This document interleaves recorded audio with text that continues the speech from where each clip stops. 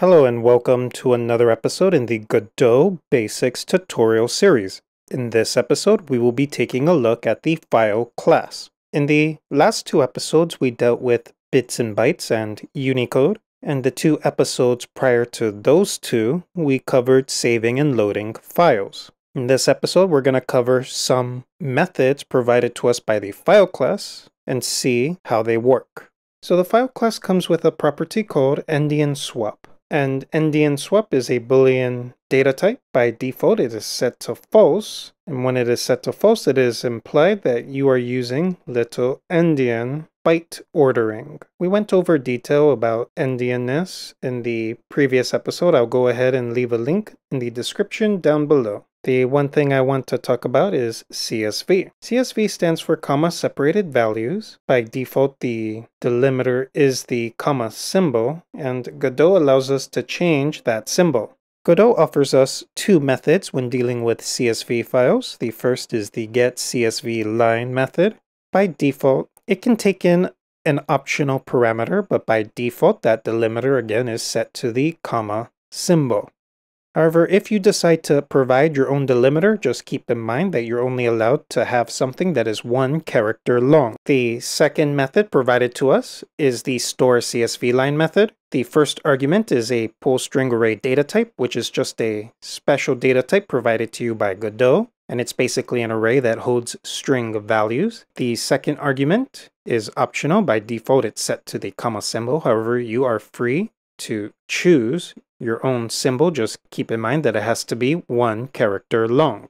Now what the second argument does is for every value in your array, it will add the delimiter onto the text file you are saving to, and then continue adding each value inside your pool string array. Let's go ahead and take a look at the store CSV line, which takes in the pool string array data type as the first argument. So we have our array, which has an email address, first name, last name, and if we were to pass this in the store CSV line method, what we get is the following saved to a file.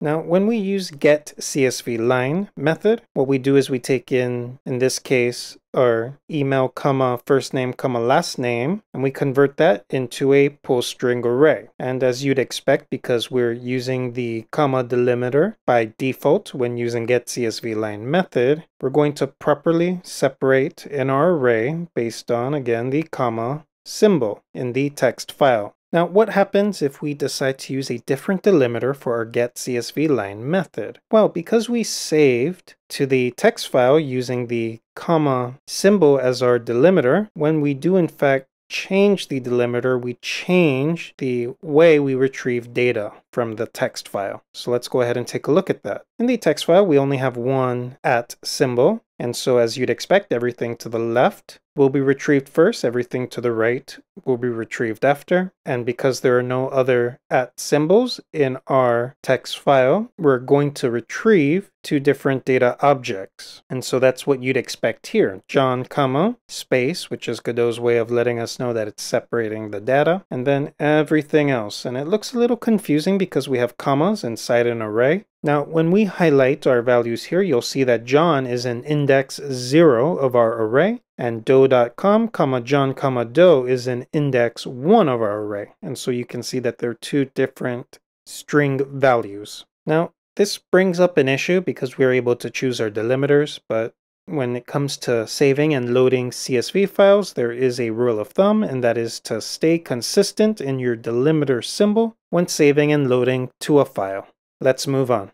Another thing that Godot provides you is the ability to grab bits from your text files. You're able to get 8 bits, 16 bits, 32 bits, and 64 bits. No matter which one you choose, you'll be returned back an integer value. Now, if the file class allows you to get bits, you are also able to store bits. And Godot provides you with the ability to store 8 bits, 16, 32, and 64 bits. Now, the one thing I want to touch is reading files. We're given two different methods that allow us to customize how we read files. The first one is getLength, which returns the size of our text file in bytes. And keep in mind that one byte is a single character when dealing with UTF encoding. The second method provided to us by the file class is getPosition, and it returns the file cursor position. Let's go ahead and take a look at some pseudocode. So here we have our standard while loop when reading a text file, but it basically boils down to two methods. First is the getPosition method, which is where our cursor is currently at in the text file, and we want to make sure that it is less than the total length of our file. And of course, we want some way of reading from the file. In this case, we're just getting 8 bits every iteration, which is just every character in the file. And our file just holds the string value hello world. Now, when we think about cursors, for example, the get position method, we normally think of the standard cursor when we, for example, type in the Godot application when making our game or when we're typing something on Google. However, instead of thinking of a cursor like this, I want you to think of a cursor that highlights an entire character. And so when we're getting the position, we're really cursoring over a character in the file, basically the first character in the file. Now, on top of a cursor highlighting a character in our text file, when we grab our position, our position always starts at the value of zero. So in this case, we say that the capital H is in the zero position or index of zero. And we basically iterate. So E is 1, 2, 3, 4, 5, 6, 7, 8, 9, 10, 11.